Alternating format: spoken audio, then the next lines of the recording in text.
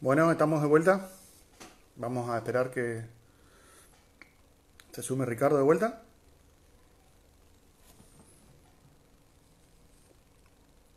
¿Se escucha bien ahora? ¿Se escucha mejor?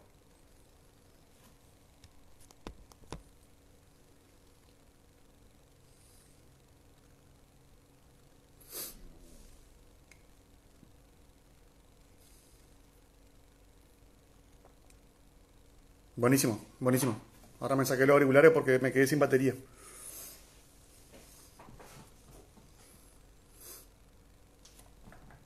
Vamos a esperar que pida autorización Ricardo otra vez.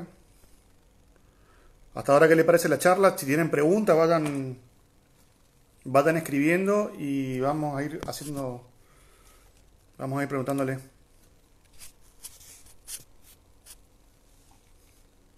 Acuérdense que ahora arrancamos con la parte de maridaje y si falta alguna cosita, me echamos ahí.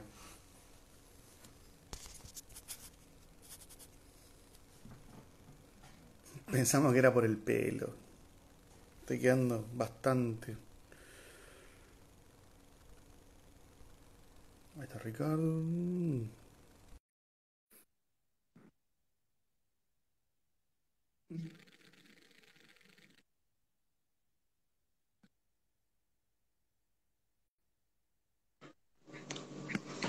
¿Ahí tomó? Sí. ¿Estamos? Sí, tenés al revés la cámara o... Sí, tengo al revés la cámara. No sé qué hice que tratando No. de... Ahí Ahí está. está. Tratando de... Listo. Ahí estamos. Ahí te escucho mejor. Vamos a. ¿Te escuchas bien? Sí, sí, sí, perfecto. Bueno, entonces estábamos con esto de...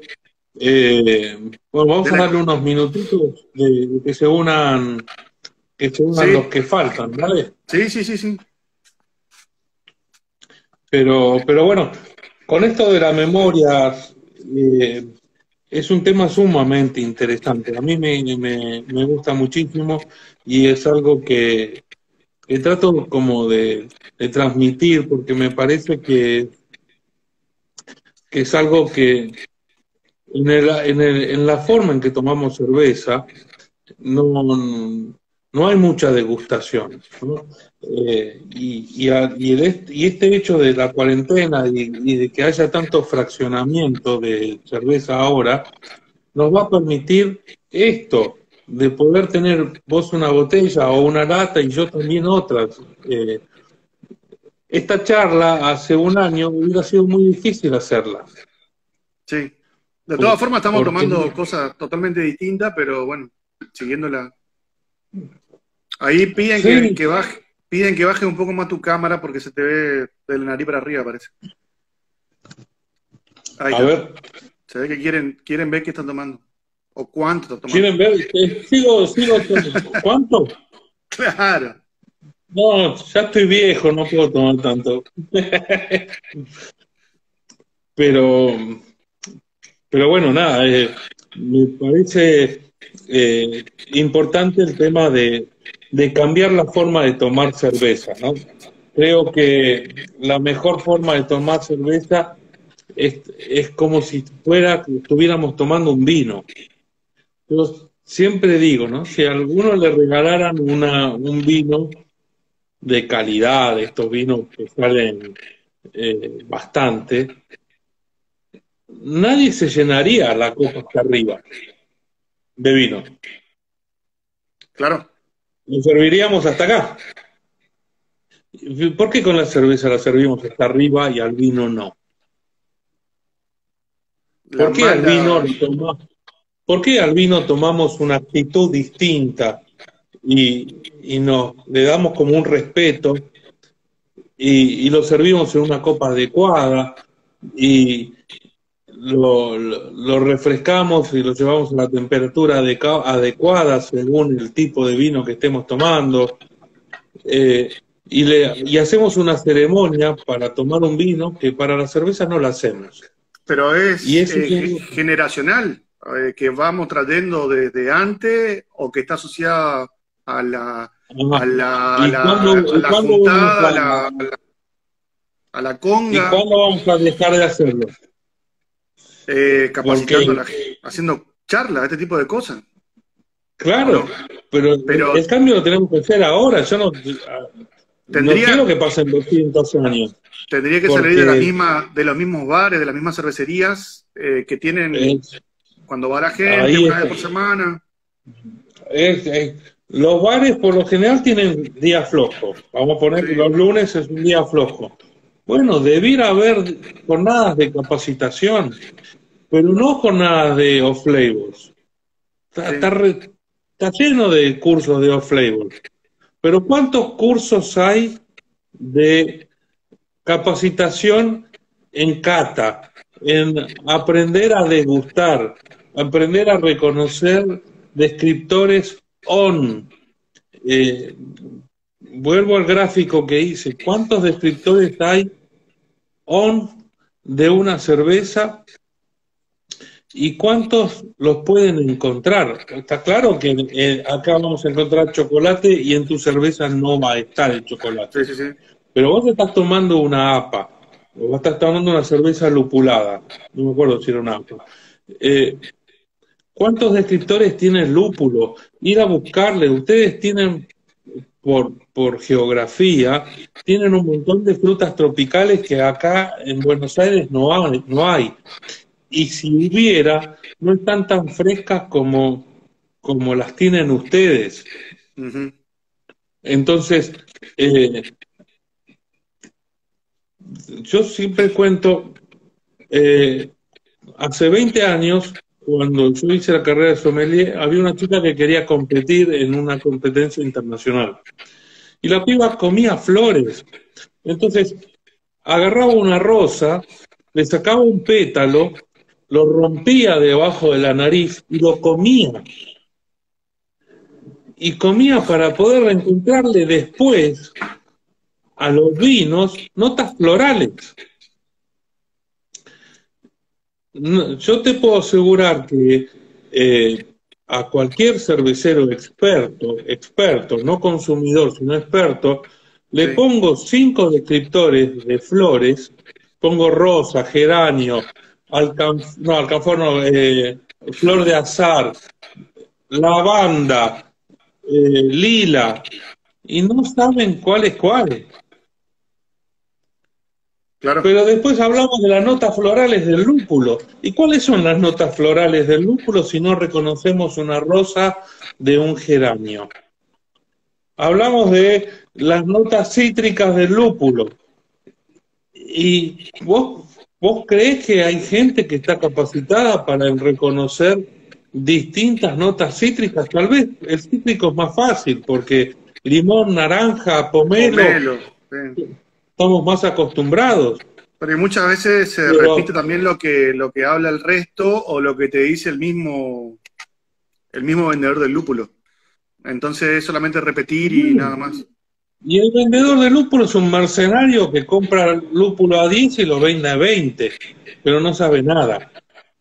Salvo los productores que obviamente eh, en Estados Unidos están, están muy estudiados, pero eh, tenemos que ser más sencillos, más, más, más hedonísticos, más, buscar más el placer. Nosotros tomamos cerveza porque nos gusta la cerveza. Entonces, si te gusta la cerveza, aprende a, reconocer qué es lo que te gusta de la cerveza. ¿Qué es lo que nos, nos divierte? Bien. ¿Ya estamos con 75, Ricardo? Mira, Así que muy bien. ¿Cerramos la parte de cata o empezamos con maridaje? ¿Qué te parece? Vale, vale, lo que, la gente... Acá lo único que tengo para comer es pepinito en vinagre, o sea, no sé, y una empanada, creo. Tres empanadas, y no tengo más nada. bueno, el tema de maridaje es algo que también me llama mucho la atención.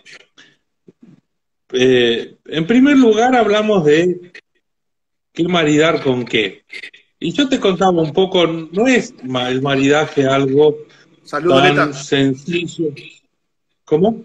Ahí está Leta. ¿Está Leta? Sí. Bueno. Salud. Leta, Leta es un peligro. Leta está haciendo, está haciendo unos, unos ajíes fermentados que me prometió que me los iba a dar. Bueno, eh. eh, eh, el tema de, de, maridar, para mí no es un poco como yo te decía, uy, me pongo un pantalón azul y qué camisa combina con el azul o con este pullover que me pongo, ¿no? Veo, eh, veo mucho en tus publicaciones que tirás libre albedrío a un locro, a rabo de... de bueno, pero hay, el tema pasa un poco por entender al plato. En el maridaje el que manda es el plato. A no ser que tengamos una cerveza y digo, a esta cerveza qué plato le voy a poner. Pero en la hipotética situación de que estamos en un restaurante, lo que te manda es el plato, ¿sí? Y en el plato hay que evaluar varias cosas. No, no, a mí me ha pasado un montón de veces y siempre lo comento. Me dicen, ¿y con las pastas qué va? ¿Qué cerveza va? Ahora bien, ¿sabe igual un espagueti que un raviol?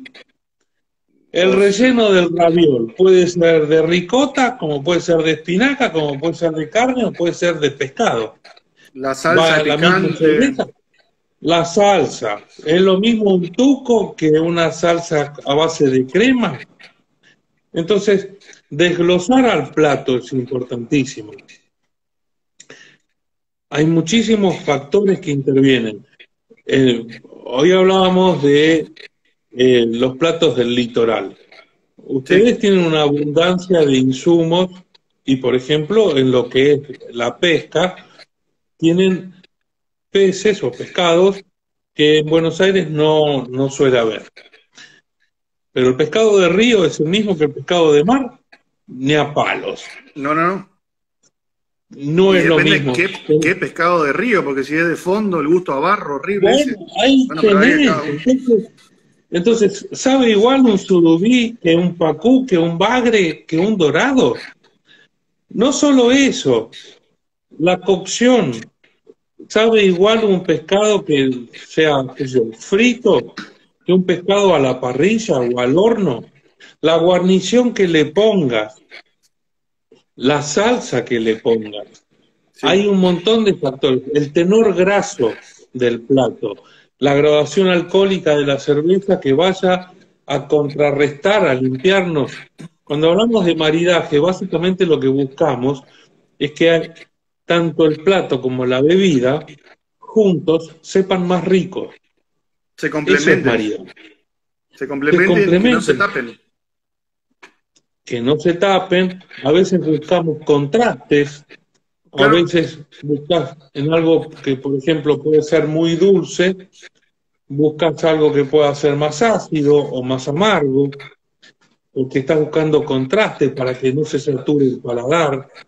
Eh, en un plato que es muy ligero, no vas a ir a buscar una cerveza muy robusta, porque al plato lo va a hacer pelota. Entonces, medir el cuerpo, la intensidad de la cerveza con la intensidad del plato es fundamental.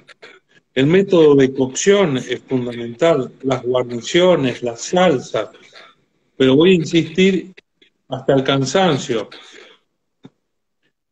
Para hablar de maridaje, primero tenemos que tener cervezas en el restaurante.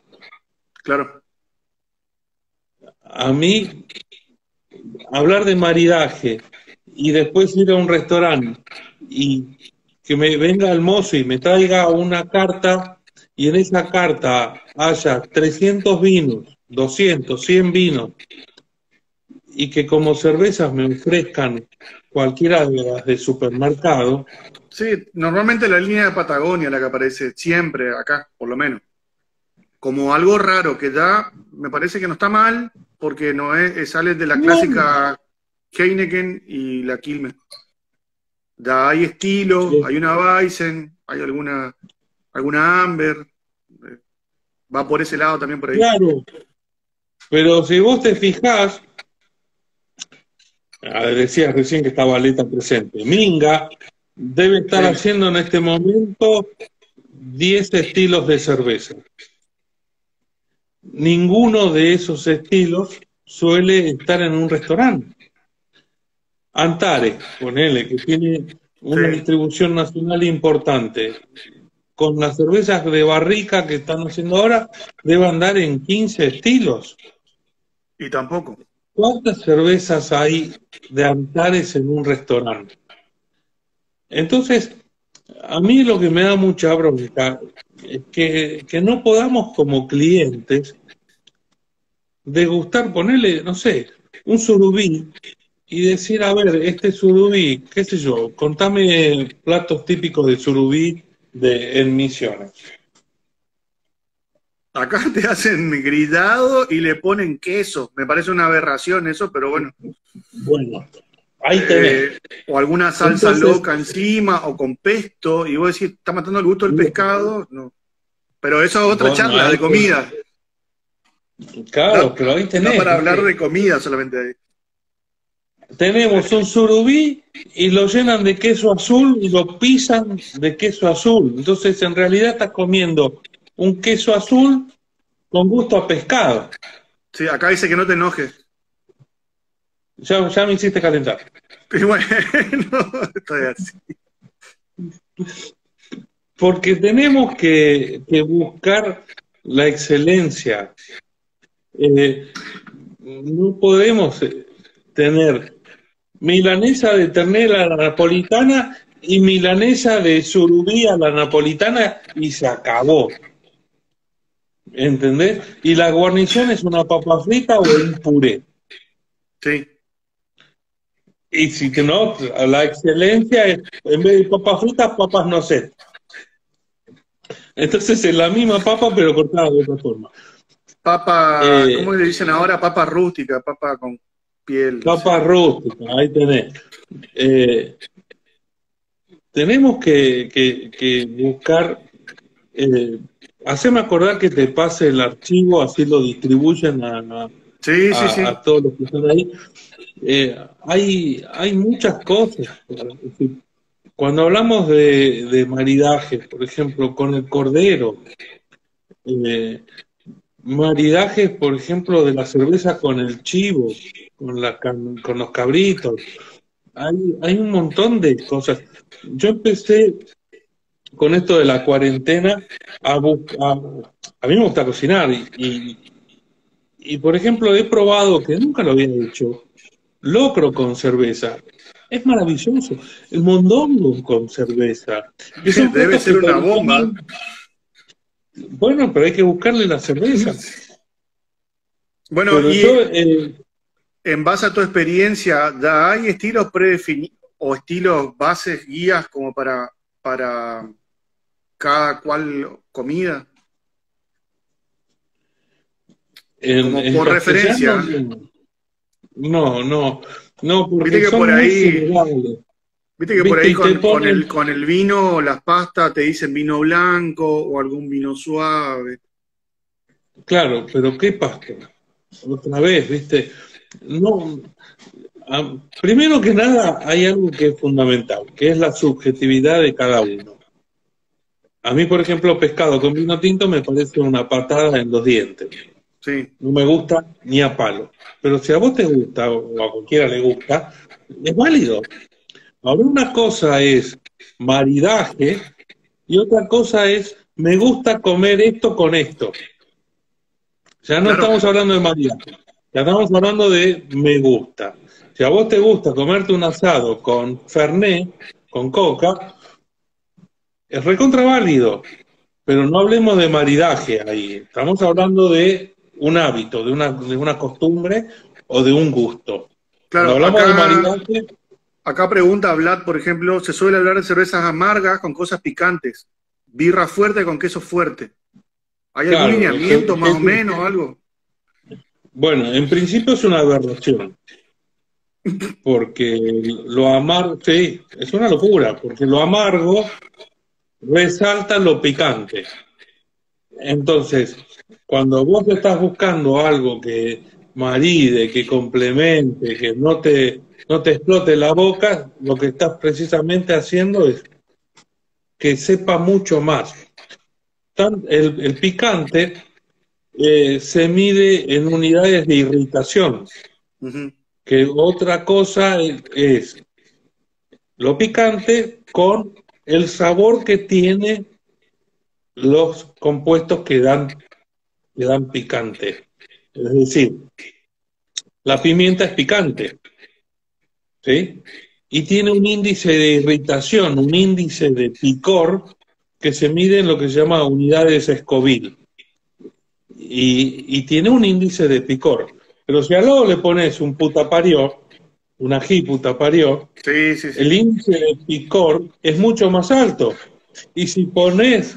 Eh, Ojo, bueno, ahí no, no está preparada la charla. No estaba preparada. No, no, no, Y acá tengo otro un jalapeño, y si pones un jalapeño tenés otro índice de picor, pero cada uno de estos compuestos tienen un sabor distinto. Entonces, comidas picantes. La pimienta es picante, pero sabe igual que un putaparió o un jalapeño.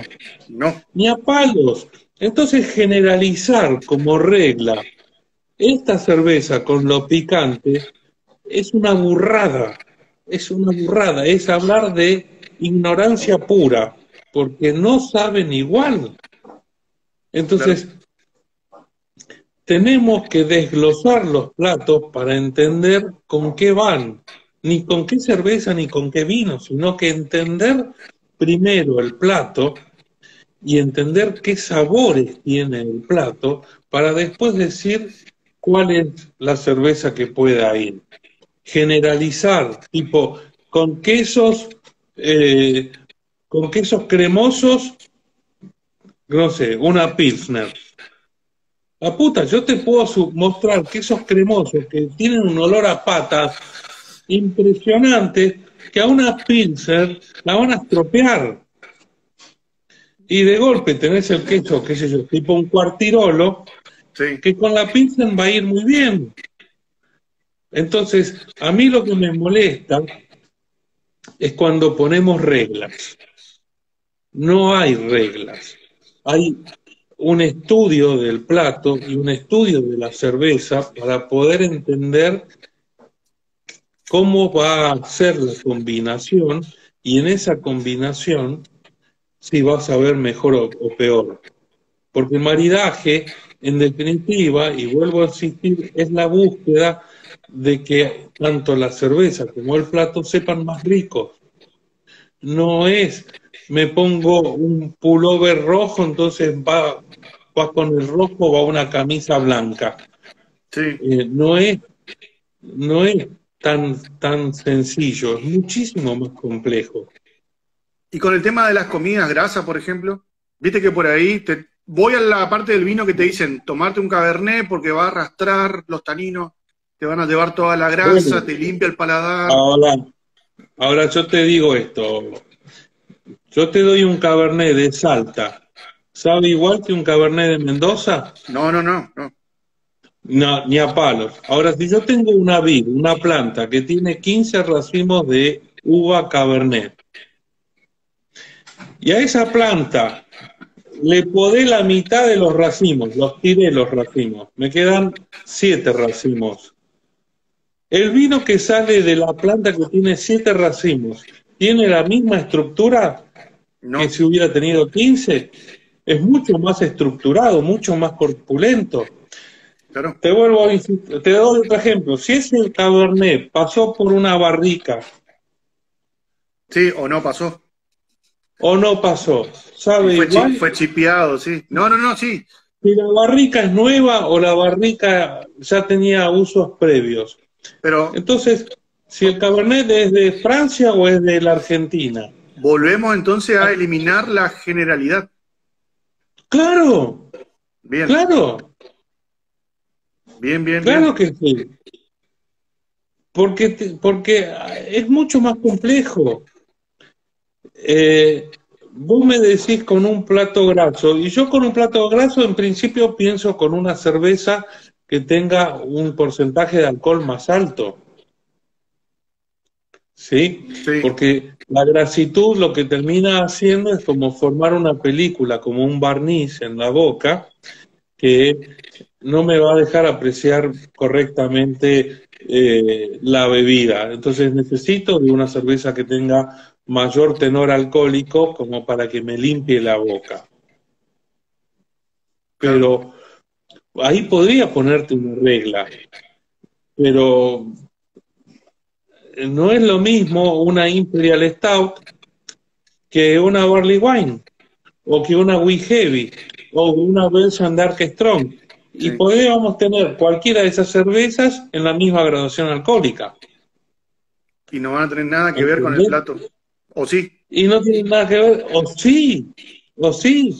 De golpe vos podés decir, esta cerveza con este plato va, pero hay estilos que no van. Entonces, eh, me parece que es un, un aprendizaje mucho más complejo el que tenemos que ir a buscar que quedarnos solamente en, en una regla y en una tabla así tipo, con pescado va tal cerveza. Y desde, desde, tu experiencia, ¿cómo, ¿cómo habría que encarar el que tiene hoy un, un, bar que tiene que vende comida? Eh, ¿Cómo? ¿O qué, qué, se podría empezar a hacer? Inclusive los propios, desde los propios cerveceros, ¿cómo uno puede ir rompiendo ese tipo de cosas? De la estructuración que tiene la gente. En primer, a ver, esto me pasa un poco lo mismo, ¿viste? ¿Viste cuando en los bares dicen no se vende barley wine o no se vende... Acá me piden que deje de tomar, pero no sé por qué, porque yo estoy tomando... ¿Que deje vos o que deje yo? No, capaz que los dos, ¿eh? me dicen a mí, pero bueno. Bueno, voy a dejar todo. Salud. Salud. A ver, en principio me parece que, que tiene que haber algo más de placer. Yo entiendo el negocio. Yo soy del palo gastronómico, así que yo lo entiendo el negocio. Eh, pero también, aparte del negocio, tiene que haber un incentivo que no solamente, viste, sea venir a tomar. Eh, tiene que haber el incentivo de disfrutar lo que estás tomando, que te dé placer. Porque eso en definitiva, el bar termina siendo un, sitio de reunión de amigos donde van a chupar birra. Y, y, no es lo mismo degustar una cerveza que chupar birra. Y te decía, por ejemplo, los bares dicen que no se vende barley wine, como los estilos estructurados o Belgian Strong y no se venden porque no lo ofrecen. Sí. Porque si entra después una partida de, una cerveza, de una Belgian Strong, por ejemplo, de entra de Bélgica, todos se desesperan por comprarla. Entonces, ¿dónde está que no se vende? No se vende porque no se ofrece. Entonces, como no se ofrece, no se vende. Eh, el público te dice no lo consume. Pasa que vuelve a ser vuelve a ser círculo, el círculo ese vicioso de que va a llevar una cerveza de la puta madre y se la van a tomar como que están tomando.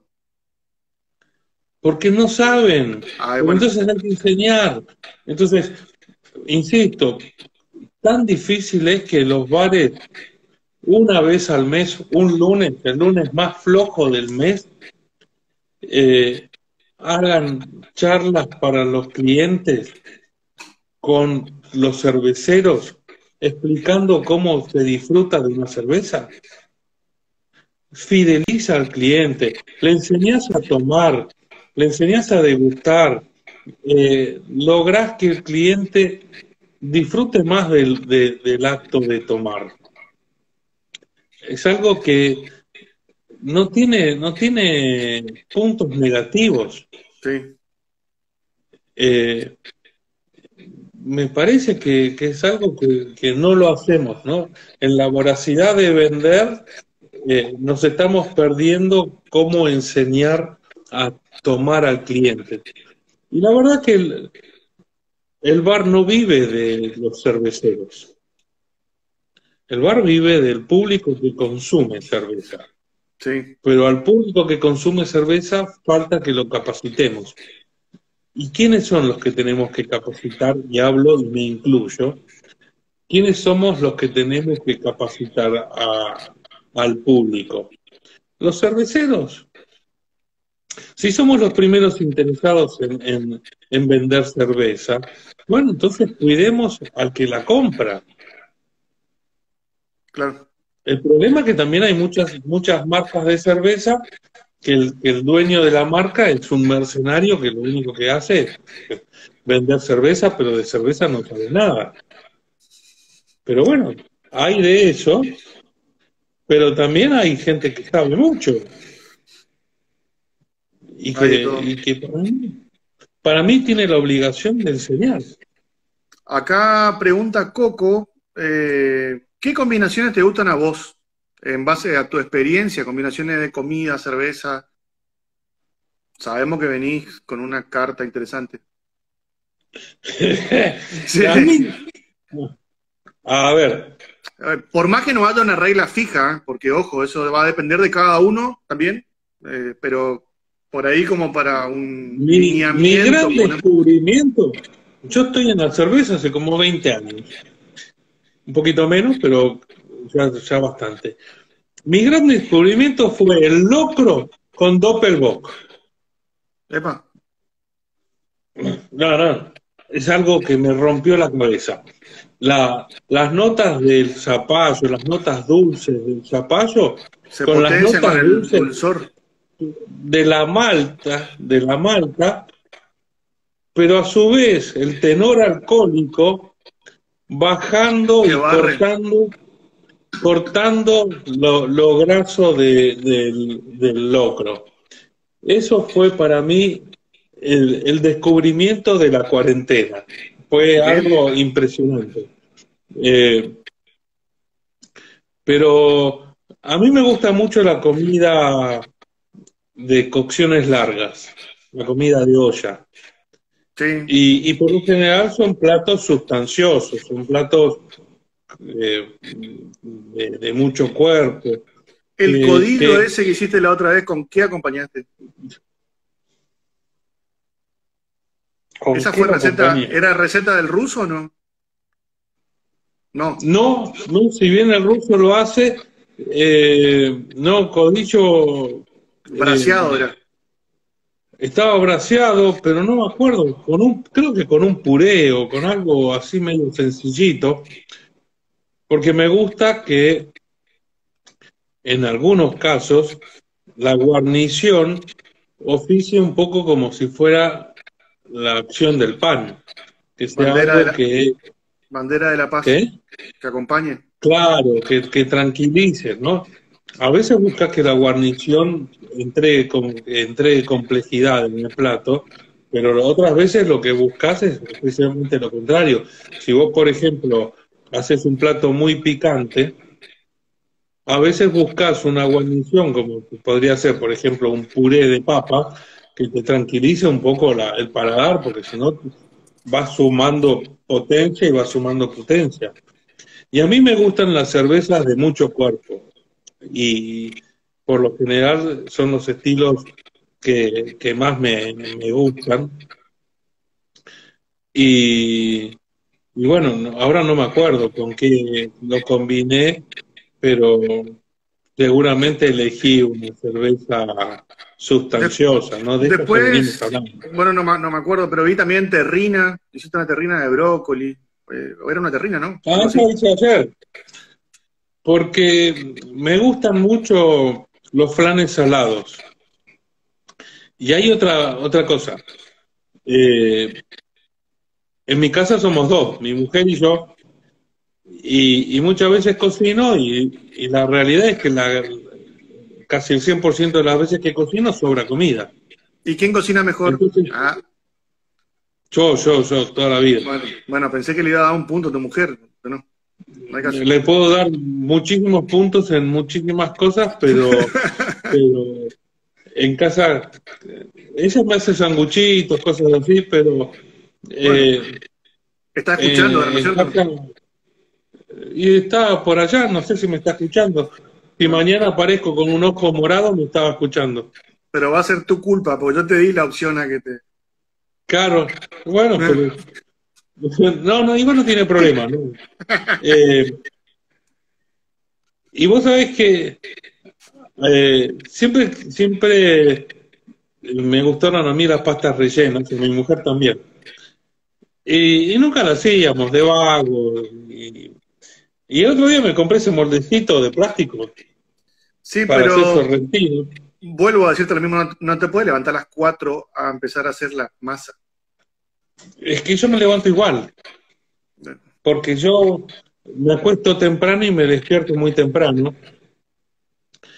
Y, y me quiero aclarar, quiero aclarar que por eso hicimos a esta hora, porque si la agarramos a las 8 ya no, ya estaba para el sobre. Son 8 y 37 y ya me está agarrando el sueño. Mira los ojos que tengo. Está faltando un poquito nomás, está faltando un poquito. Claro, ya estoy trasnochando. ¿Y eso sorrentino, por ejemplo, con qué acompañaste? Bueno, mira, el otro día hice un vacío al horno y cobró vacío. Entonces, como no me gusta desperdiciar comida, agarré al vacío, lo desmenucé todo, lo desmembré todo e hice sorrentinos de vacío. Y para darle un poco más de, de complejidad, le puse curry, ¿viste? La mezcla de especias. Sí, sí, sí, sí. Y, pero me tendría que fijar eh, con qué lo. No me acuerdo, con qué. Uno hace cada pregunta ya de noche, ya muy tarde. Bueno, perdón, pero la gente quiere saber. Esto es como. No tienen Mirta hoy, pero tienen a la oveja hablando con Ricardo Aparicio. Hay que sacarle el jugo. Claro, bueno, pero ya estamos de madrugada. A la gran siete. Yo tipo para arrancar con otra vez más, no importa. Los sorrentinos no, mira, los sorrentinos los, los fue con un vino salteño. Bueno, no, no, cambiamos entonces de menú. no, no, está bien. Eh, tengo un alumno, yo estoy dando cursos particulares de elaboración, ahora así online, y, y tengo un alumno que el padre vende vino y me, me regaló un vino. Así que los sorrentinos fueron con el vino con un vino salteño. Y antes me habías preguntado el codillo. Claro. El codillo lo, el codillo lo comí con una Barley Wine, American Barley Wine 2016, que hizo eh, Germán López de Lumpen. Me regaló una botellita que encontró 2016, cuatro años de guarda. Eso es algo que también tenemos que empezar a transmitir a guardar cervezas. Eh, Pero no todas las cervezas. No todas las cervezas, claro está. Pero bueno, si seguimos haciendo honey es muy difícil que podamos guardarla. ¿Qué te parece la honey? no, ¿hablamos de cerveza? No, no, bueno, bueno, bueno. Eh, para, cerrar, podemos ir. Eh, no sé, no sé si tenés alguna otra mm, algo como para ir cerrando maridaje y tiramos, si quieren hacer preguntas a los chicos. Lo que eh, quieran, dejémoslo un rato eh, que, que, pregunten lo que tengan ganas de preguntar. Pregunten, chicos, que tiene tiempo hasta un rato más porque ya se va a dormir. Ya a las nueve, a las nueve me, me agarro el sueño no. No, te, agarramos ahora a vos, te agarramos a vos ahora. La semana que viene tenemos, quiero recordarle a los que están conectados, la semana que viene estamos con Diego Setti, que está en Estados Unidos ahora, y también se va a tomar un, par de minutos para hablar con nosotros. La Seti Aventura, le dijimos. Vamos a ver qué onda. ¿Tenés contacto con Dieguito o no? La verdad, sí tengo, pero en este momento estamos como... Él está con, con su proyecto allá y, y la verdad es que no, ya, estos dos últimos años fueron bastante intensos con, con usted. Sí, sí, eh, sí, ya no lo querés venir en figurita. ni él a mí, ni él a mí. Eh, en un rato se apaga. Pregunta, chicos. Entonces vamos a ver si cerramos. Bueno, vuelve. Acá preguntan eh, qué birra va con tacos de carne, pero volvemos a, lo mismo, no, no caer por ahí en lineamiento, ¿no es cierto? Y, a ver, hay un estilo que para mí no entiendo por qué no. Sí. pregunta, eh, porque siempre se pregunta la carne, eh, ¿cómo es la comida con la cerveza? Y si hacemos al revés y preguntamos qué birra va con qué, ¿O con qué? Si tenemos, por ejemplo, solamente APA, ¿qué podemos, qué, comida podemos meter? ¿O qué sería lo ideal? Bueno, vos ahí tenés un estilo, por ejemplo, que, que, encuentra en las maltas un soporte más, más intenso eh, que, en, el, que, en, en, versiones mucho más lupuladas. Entonces, ya podés ir hablando más de, de carnes, pero, a ver, no quiero que quede como instalado, para la APA va eh, un bife de chorizo con papa frita. Sí. Porque eh, la gastronomía es muy compleja y es muy variada. Después estamos nosotros que somos los que comemos siempre lo mismo. La gente se sorprende a veces por lo que yo como.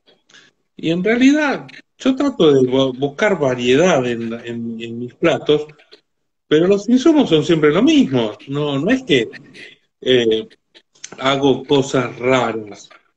Eh, pero a mí a veces me quedo pensando digo, puta, ¿qué come la gente que le sorprende tanto una, un flan de vegetales? Eh, y, la verdad que hacer un flan de vegetales es, es estupidísimo recontra fácil y es una guarnición espectacular. Pero tenemos como la cabeza, no, el flan es, dulce y va con dulce de leche y crema chantilly. Y se acabó. ¿Sí? Bien. Entonces, eh, como yo me gusta mucho comer y me gusta mucho la bebida, eh, y disfruto mucho de, de esas dos, de comer y de beber, busco precisamente eso. ¿no? Es como que a vos te guste el cine. Y bueno, te vas a sentar en tu casa, vas a buscar apagar las luces para ver bien, te vas a sentar en un sillón cómodo, te vas a poner tu bebida para, para ver la película. No vas a mirar la película eh, en, sentado sobre un balde y, y con muchos ruidos de fondo. Eh, vas a buscar placer en ver una película. Y acá pasa lo mismo, tenemos que buscar placer en, lo que tomamos y en lo que comemos. Claro. Y en el placer no hay reglas. Bien. Esa va a ser tu frase a partir de ahora. ¿eh? Vamos a, a marcarla. Me preguntan, ¿se puede añejar birras belga de grabación alta que fueron enlatadas? Eh, es un desafío la lata ahora. ¿Se pueden alejar cervezas belgas? Sí. Y lo recomiendo. Pero el comportamiento de una cerveza en lata, en guarda, todavía no lo estamos evaluando. Bien. Eh, Vamos a otra. Libro sobre cerveza para recomendar. Calculo que el libro de cerveza y comida debe ser, o o sobre cerveza en general? Libros sobre cerveza, pero de, qué tema? ¿De elaboración? De, vamos vamos a dejar ahí a que Picasso que pregunte, que reformule. ¿Dónde se puede hacer un curso para aprender a catar? Para, se cortó. ¿Dónde se puede hacer un curso para aprender a catar? Eh, la verdad es que no hay cursos para aprender a catar. Nosotros eh, con Diego hemos tratado de darlos por todo el país y, hemos tenido muy mala repercusión. No, no, no, hay. Me ha pasado a mí, por ejemplo, que la gente de Antares me contratara para, para capacitar al personal de Antares en varias sucursales del país. Pero las veces que hemos promocionado cursos para Qatar, eh, ha sido muy mala la, repercusión. No, no han habido, pero es, es un poco como hablar de uno, ¿no? Pero nosotros damos cursos de, de cata, pero insisto, no, no han. En el, pero si es solamente cata. Si es en ese curso que dimos, que nosotros dimos con vos, eh, de elaboración y estilo, había mucho de eso. Bueno, por ahí catamos más de 120 cervezas. Sí. pero este es un curso para ser juez, o para rendir el examen para ser juez. Sí, sí, sí. sí. Pero son cursos más sencillos, cursos de eh, tres o cuatro encuentros, eh, hemos querido hacerlo. De hecho, no tengo ningún problema. Si, si quieren que viaje y. acá siempre soy bienvenido. Soy bienvenido siempre acá. te estoy hablando de corriente, resistencia, misiones. Acá, de, sabés que siempre hay lugar y siempre. Hay que venir, Bueno, ahora estamos con todo esto. Bueno, mirá, la vez pasada estuvimos estuvimos en Encarnación y la verdad es que anduvimos medio las corridas y no pudimos eh, quedarnos en misiones. Querían, la idea inicial era quedarnos unos días después en Posadas, pero no, no, no hemos podido, pero a mí me encanta. Si, yo trabajo de dar cursos, así que no, no hay problema. Lo que no me gusta, cursos de cata online. Eso me parece que no, no, no, no estoy muy de acuerdo, porque yo, vos me decís, yo siento aroma a pomelo en mi cerveza, y qué sé yo, no es la misma cerveza, ¿no? El curso, el curso de análisis sensorial para mí debe ser presencial, no, no podemos estar vos con una cerveza y yo con otra, por más que sea la misma cerveza. Sí, la temperatura es eh, distinta, el vaso es distinto, si jabón, no con detergente. Hay muchísimas variables, ¿no? Me parece que ahí te hace más difícil. Bien, acá dice la pregunta que reformuló de tipo es eh, la pregunta que quería saber de tipo de cerveza para conocer estilos. El libro que estaba preguntando. Libros para conocer estilos. A ver. Eh, a ver, hay dos libros que, que yo recomiendo mucho. Este es un libro. ¿Está al revés para ustedes? Sí, sí, sí. ¿Pero de quién es? De Garrett Oliver. Lo mismo que este libro. Son dos libros que recomiendo mucho. La tabla del eh, Brewmaster. Sí, de Brewmaster Table. Son dos libros que a ver si tengo, porque por el hecho de que justo me agarraron con eh, para libros de Bélgica, para cervezas de Bélgica, este libro. un libro aparte. sí. Esto es Bélgica, de Michael Jackson. Y después están los libros de, los estilos, ¿no? Eh, bueno, no lo tengo justo acá. Este libro de maridaje está muy bueno. Beer, ¿cómo? Beer Paving. Mm. En castellano no hay, van a tener que esperar que termine de escribir el que yo estoy escribiendo. Pero es como un emparejamiento. Claro, es de maridaje. Y después. Eh, Acá preguntan. Ah, bien. Este también está bueno. Ah, sí, ese lo tengo en PDF. Eh, bueno. Acá preguntan, preguntan eh, otro tema. ¿Qué opinas de SLOM, la certificación para bares? Me parece que es fundamental que haya un protocolo de limpieza en los bares. Es fundamental, pero recontra fundamental. Me encantaría que el concepto de, del protocolo de limpieza y servicio esté instalado. Para mí debería ser ley. Eh, no puede ser que los bares no cuiden a la cerveza.